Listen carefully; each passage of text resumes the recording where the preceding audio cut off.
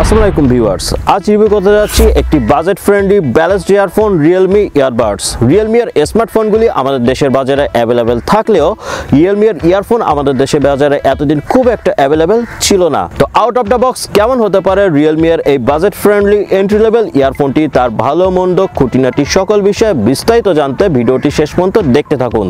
তো চলুন কথা না বাড়িয়ে শুরু করা যাক। বরাবরের মতোই আমি সজীব থাকছি আপনাদের সাথে।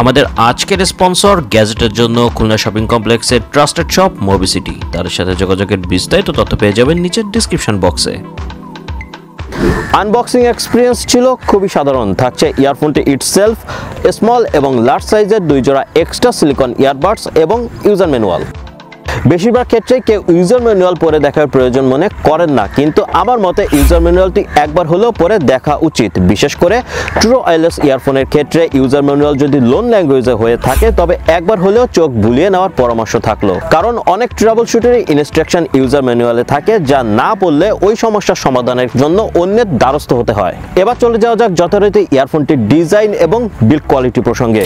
ইয়ারফোন হাউজিংটির ব্যাক সাইড মেটাল বিল্ড এবং ফ্রন্ট সাইড প্লাস্টিক বিল্ড এর ভেতরে দেওয়া হয়েছে। ইলেভেন মিলিমিটারের একটি লার্জ ডাইনামিক ড্রাইভার ইয়ারফোন নজলটি এর হাউজিং এর সাথে ফর্টি ফাইভ ডিগ্রি অ্যাঙ্গেলে থাকায় কারের ভেতরে দারুণভাবে অ্যাডজাস্ট হয়ে যায় এবং ইয়ারফোনের ব্যাক সাইডটি ফ্ল্যাট হওয়ায় যারা শুয়ে থেকে ইয়ারফোন ব্যবহার করতে পছন্দ করেন, তাদের খুব একটা অসুবিধার কারণ থাকছে না। এছাড়াও ইয়ারফোন হাউজিং এর ব্যাক সাইডে দেওয়া হয়েছে ম্যাগনেটিক বন্ডিং যা এই দামের একটি ইয়ারফোনের ক্ষেত্রে বাড়তি পাওয়া। থাকছে স্ট্রেট এবং plastic matte three point five M M audio jack audio জ্যাকের সাথে ওয়ারের সংযোগ স্থলের প্রোটেকশনকেও বেশ স্ট্রং মনে হয়েছে।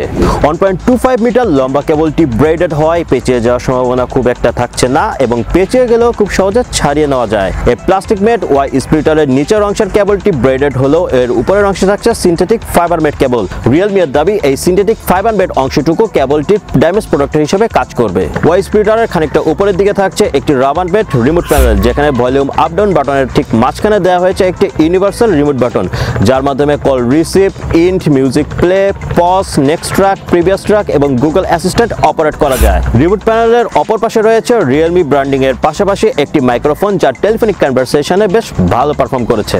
এছাড়াও ইয়ারফোন হাউজিং এর সাথে কেবলের সংযোগস্থলে থাকা ইয়েলো কালারের প্রোটেক্টিভ শিল্ডটি ইয়ারফোনটির লুকে একটি পজিটিভ ইম্প্যাক্ট তৈরি করেছে। সব মিলিয়ে ইয়ারফোনটির বিল কোয়ালিটিতে মন ভুলানো প্রিমিয়াম নেসের ছোঁয়া না থাকলেও দাম অনুসারে এর বিল কোয়ালিটিকে আপ টু দ্য মার্ক বলা যেতেই পারে। এবার চলে যাওয়া যাক ইয়ারফোনটির সব থেকে গুরুত্বপূর্ণ, অর্থাৎ সাউন্ড কোয়ালিটি প্রসঙ্গে। যেহেতু শুরুতেই বলা হয়েছে এটি একটি ব্যালেন্সড ইয়ারফোন, তাই ইয়ারফোনটির বেস বেশ ডিপ হলেও পাঞ্চিনেসে কিছুটা ঘাটতি দেখতে পাওয়া যায়। ইয়ারফোনটির বেস এবং সাব বেসের সেপারেশন কিছুটা দুর্বল মনে হয়েছে। It could be more well refined vocal বেশ লাউড এবং ক্লিয়ার হলেও হাই এবং নো নোটসগুলি মাঝে মাঝে চিনচিন করছিল। মিডিয়ার উপস্থিতি ছিল বেশ ভালো। ইয়ারফোনটি ট্রিবেল, আমার কাছে বেশ উপভোগ্য মনে হয়েছে। অপরাজনীয় ট্রিবল বিরক্তির কারণ তৈরি করেনি। সব মিলিয়ে ইয়ারফোনটির ওভারঅল সাউন্ড কোয়ালিটিকে এক কথায় ডিসেন্ট বলা যেতে পারে। যারা বেজ অ্যাগ্রেসিভ গান শুনতে পছন্দ করেন বা বেজ লাভার আছেন, তাদের জন্য ইয়ারফোনটি খুব একটা ভ্যালু ফর মানি হবে না। কিন্তু যারা ব্যালেন্সড মিউজিক লাভার এবং সফট মিউজিকের গান শুনতে পছন্দ করেন, তারা তাদের পছন্দের তালিকায় পাঁচশো টাকার আশেপাশে বাজেটের মধ্যে ইয়ারফোনটিকে রাখতে পারেন। আজ এ পর্যন্তই। আল্লাহ হাফেজ।